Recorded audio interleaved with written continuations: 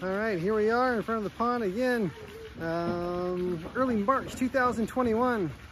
My toddler daughter is running around on the deck watching the uh, watching my little test pump. Um, over the winter, the pond is completely. See if I can. The pond has completely filled with water. She's blowing bubbles. Uh, there's, probably about 10,000 gallons in here right now. That's what I estimate without any rock in the pond. It's probably about 10,000 gallons. Uh, and I bought a, uh, you can see the, uh, you can see the hose coming out at the end over there by those AquaBlox.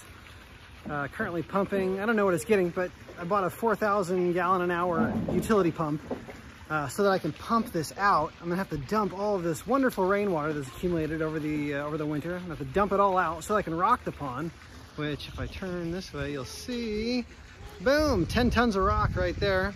That'll be like the first of probably three, maybe even four loads I'll need to uh, do this thing uh, entirely. But I bought a 4,000 gallon utility pump, just a cheap Superior pump, 4,000 gallon pump, um, and a 100 foot long, uh, two inch, you know, a pool discharge hose. Attached it with a uh, hose clamp and kind of strung it out. I can't really show you the whole thing here because the way I'm holding the camera, but snakes around the pond, comes out over there.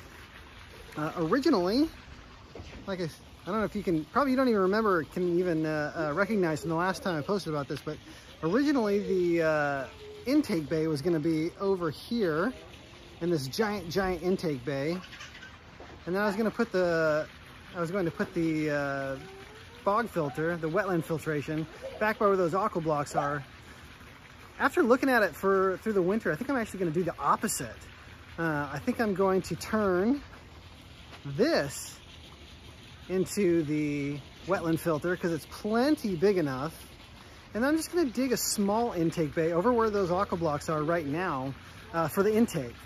And what that will mean is, uh, number one, I won't have to, uh, I won't have to steal any more yard from my daughter to do this. I don't know what I was thinking at the beginning of this. I was, what I was thinking was every expert you ever talk to says, don't make your pond too small. No, I've never met a client, I've never met a customer that wanted a smaller pond. So I thought, okay, let's go big and we'll have no regrets. Well, we dug it all, we dug it all out except for the bog filter, except for the wetland filter. And I've had the winter to look at it, you know, in uh, in comparison to the rest of our property, I'm like, this thing is so big. This thing is so big. It takes up like half, at this point, it takes up about a third of the yard. Um, you know, there's more yard beyond the deck over there, but not a ton. Uh, so what I'm gonna do, instead of digging up, digging out an even larger portion of the yard to put in a wetland filter, this area over here is plenty big enough. I can just dig a small intake bay over there, reverse it. But what that means is I won't get a waterfall. Um, and I'm, I'm mostly okay with that, honestly. I, you know, I, have been thinking about this for a long time. The, when I first started designing this project, I designed it without a waterfall and then watched all, you know, the professional videos of like, you know, how these amazing waterfalls come together and thought, oh, I should try.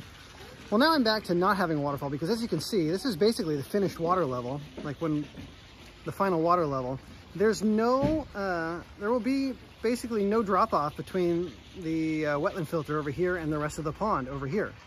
So, you know, water will spring up, you know, through the, uh, through the wetland filter back there, and it will just flow and be level with the pond. And I'll have to do some, I'll have to do something for aeration. I'm thinking maybe I'll put in some, a decorative fountain or something. Uh, you know, I've seen those, uh, you know, stacked slate urns and spheres and stuff, or something like that, that you could use, and I could put it in the wetland area to give it some elevation and get some aeration in the water. And then I'll probably have to put like a uh, an aerator uh, on the pond somewhere, just to make sure that the, the, the pond's getting enough oxygen to support, you know, fish and plants and, and whatnot. Um, but that's kind of where I'm at right now. I've had the uh, I've had the winter to kind of think it over, made some changes of plan, taking the next step. We got a bunch of rocks. So the next step is to drain this whole thing, which makes me sad, but that's okay. It'll all be back, uh, and start rocking. I'll see you when I start that project.